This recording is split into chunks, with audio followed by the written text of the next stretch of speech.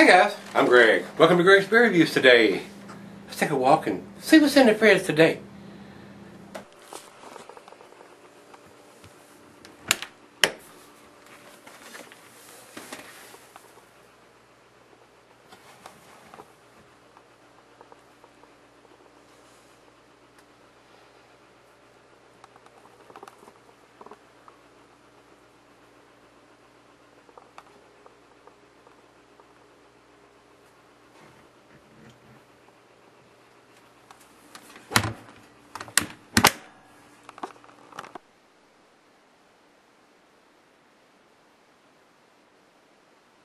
Hello everybody, thanks for stopping by Greg's Beer Reviews today. Today's beer comes, this is from uh, Stillwater Artisanal Ales. They're out of Baltimore, Maryland. This is Cellar Door, American Farmhouse Ale.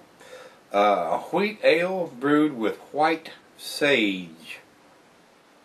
So 6.6% uh, ABV on this one guys, and is a big bottle too. Uh, um, I could probably let this uh, let this settle just a little while longer, but this was last summer's uh, uh farmhouse. Uh, they come out last summer. That's what I'm trying to say.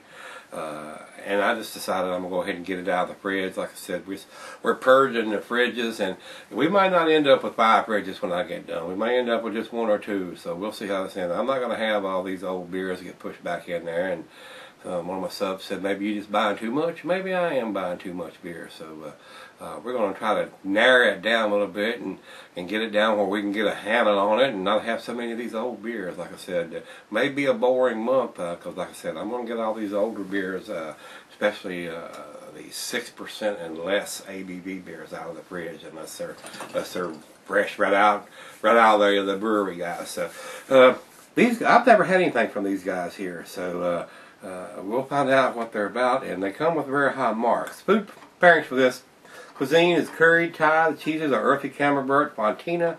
Your nuttier cheeses, Asiago, Colby, Parmesan. Uh, your more pungent cheeses, Gorgonzola, Limburger.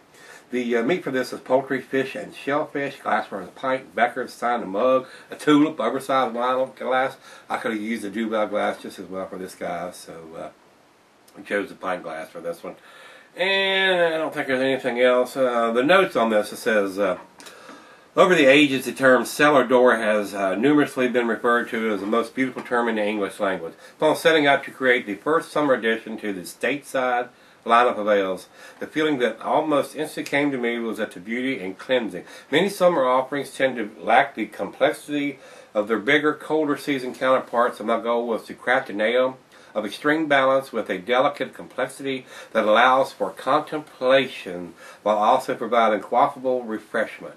Starting with a base of German wheat and pale malts, this crisp, slightly hazy foundation was then accented with a blend of Sterling and Citra hops providing the intricate blend of herbal grass and tangerine citrus flavors and aroma. To pull this all together and complete the cleansing aspect of my new vision, I gently finish the ale off with a touch of white sage, lending a mildly earthy spice character to the blend. Of course, let's not forget our house saison yeast that brought all the elements together, leaving a dry yet intricate finish. So, let's see what kind of cap is on this bad boy. I can get in here or not. Let's see if I can get in here. It's got some kind of, almost looks like a wine bottle cap on here, guys. And it has a regular bottle underneath there. So.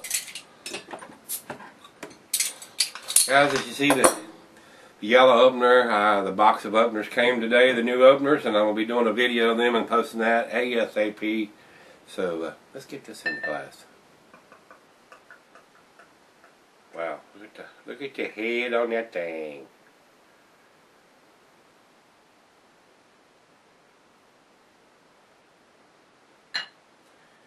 All right. and you see how easy I poured that too. You got us a good three finger head. A lot of bubbles streaming up. Very carbonated beer. And the color is a very golden color. Other than the monster head, it looks like a macro lager in a glass. Let's get a nose on it. Definitely got the the Saison funk going on. The barnyard smell. Got a very good, got a very strong grapefruity smell going in there too. But I do get the tangerine, and there is always an earthy smell to the saisons to me. Uh, has that musty dirt smell. Smells very tempting. Uh, the first time I, I, drank one of these and smelt one of them, I was going, whoa. But they are uh, rather uh, delicious. So, cheers, everybody.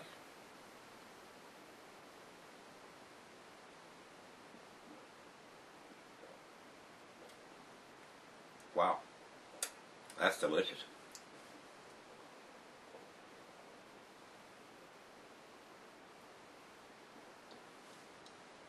Again, pears, apples, tangerine, grapefruit.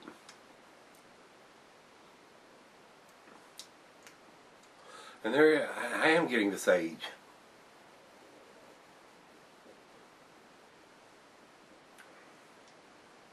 That'd be a delicious summer beer. Very nice and refreshing.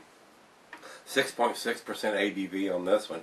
Not extremely heavy, but I wouldn't want to drink this whole thing in the middle of the day, that's for sure. Be very nice when you share around with two or three. Wow. Very nice uh, beer. Got the funk going on too, boy.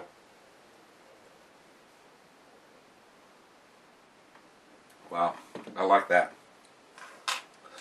Probably not the right time of year to be drinking a summertime saison, but it is what it is, and we're purging the fridge, guys. We're going to let uh, this warm up just a little bit let the other half taste it and see what she thinks of it. I'm sure she'll probably enjoy it. Very nice beer, guys. Uh, I believe it's an A beer. Stick around. Alright, guys, I'm back. Got just a little left. And a lot of tropical notes with this beer. I mean, it's got a lot of mango and tangerine, and like I said, I'm getting apples and pears. Very delicious beer. Very, very delicious beer. I'll chug, guys.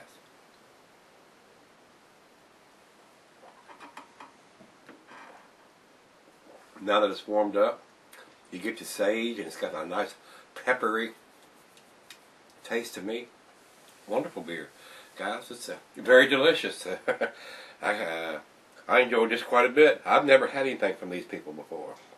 They do a pretty good job. Uh, and I'm not really big into the uh, the farmhouse uh, or the saison ales or anything, but uh, this was this was pretty tasty. Uh, if you've had this, give me some comments back on this, and or or if you have it, uh, pop a cap on it and drink it. And let me know what you think. Or if you've got it cellaring, I don't know how long I would sell this one. 6.6%. Uh, I would say it's going to keep for a year or so anyway. So, with that being said, guys, give me some comments back on this, and I think it's very delicious. Uh, for the style, uh, I'm going to give it a 9 out of 10. I, I can't find any fault with it. Uh, very tasty.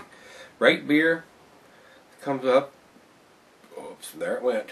Beer Advocate comes up with 92, which is in their exceptional range. And Rate Beer comes up with 98 overall and 100 in the style. So pretty impressive numbers all around there, guys. And uh, it could just as well easily be a 10. And I'm sure there's a lot of people that think this beer is probably a 10 uh, that are into the Saison and this type of beer. So I'm not actually not, and I enjoyed it. So it's pretty tasty.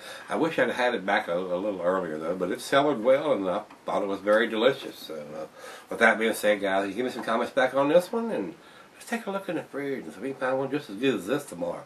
This was I thought was going to be a little on the older side, not too good, but got us an A beer on, got us an A beer for an older beer. So this one sold well, guys. We got lucky. Let's look in the fridge tomorrow and see if we get lucky again. See you then.